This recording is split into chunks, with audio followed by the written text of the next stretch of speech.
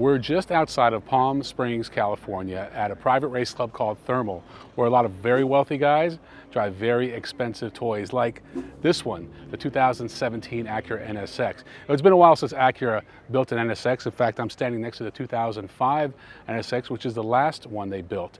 And I remember when this first came out, the critics called it the reliable Ferrari. Basically a Ferrari with Honda reliability. And much of the same goes true for this NSX, except it's loaded with technology. Still has a mid-engine design, but now you have two separate electric motors up front, one for each of the front wheels, and they not only help with power at about another 100 horsepower, they also help with torque vectoring steering.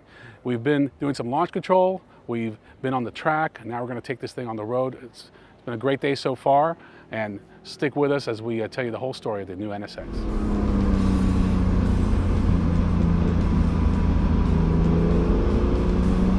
Okay, so we just did three laps. Now we're in our cool down lap. I'm to put this in quiet mode.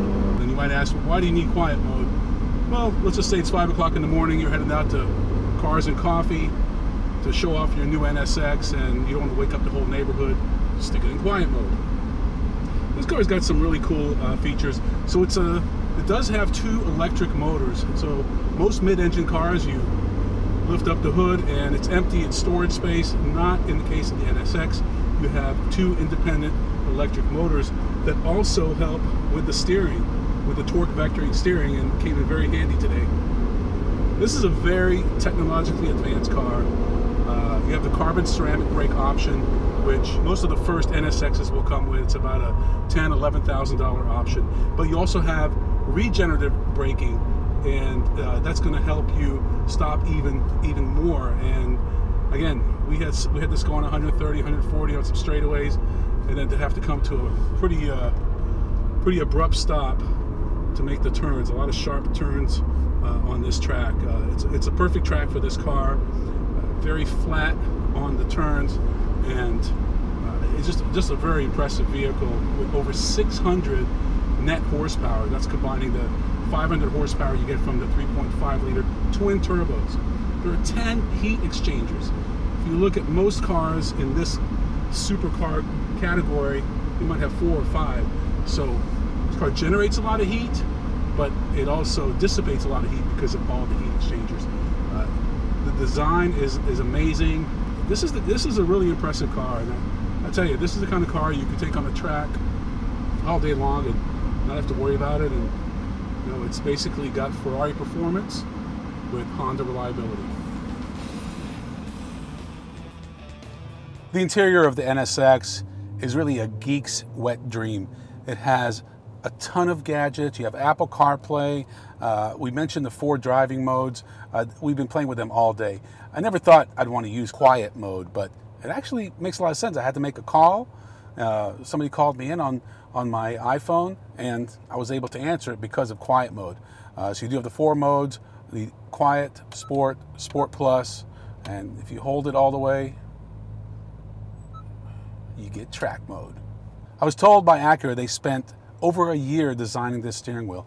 It has really no dead spots, and uh, we spent a lot of time and got very intimate with this steering wheel all day, and uh, they were right. This might be one of the best steering wheels I've uh, ever I've ever witnessed. Uh, it has the carbon fiber inlays and uh, is leather wrapped, and you have just the right number of controls. Not too many that you can uh, you can get them stuck. Of course, you have nice uh, paddle shifters that move with the steering wheel as opposed to fixed on the column. So I really like everything they've done. I like the interior. It's by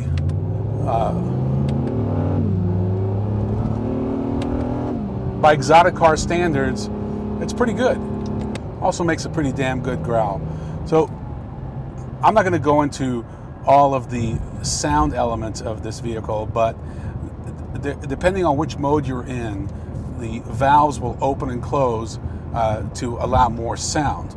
And that's how they're able to shut it down with the quiet mode. But most of that, like 98%, is natural sound, not artificial sound like you get in an M3 or an M4. Let's get down to what's important, which is how does it drive? Uh, it's brilliant. You know, you've heard the term, the car drives like it's on rails. Well, this one drives like it's on rails and has a super brain attached to it. Uh, you know, we we made some mistakes today, and this vehicle compensated for those mistakes. So it, it takes a good driver, makes them better, a better driver makes them great. A lot of that has to do with the balance. You would expect this car to be 50-50, but no, by design, it's 42% up front, 58% in the rear. And with the torque vectoring steering, with the independent motors, uh, it really, uh, it, it just helps you just slice through corners much better than just about any car I've ever driven. Acura was very focused on giving drivers maximum visibility mentioned the mirror on the outside, but also this A-pillar is only 82 millimeters wide. When you look at other vehicles in this segment, uh, they're at 130 millimeters wide. So that can, even though that doesn't sound like a lot, when you're about a foot and a half, two feet away from that, it just makes it wider, creates a blind spot, and Acura took care of that. One of the complaints I have is about the dash on the NSX. It's a beautiful dash. It has these nice perforations, but as you can see right now, um, it's creating a huge reflection. The sun is harsh and really made it hard to see. The whole time all I'm looking at is this reflection. I think they could have come up with a dash with a little less glare. So what's the bottom line on the NSX? My buddy said, would you buy this car? It's a very good question.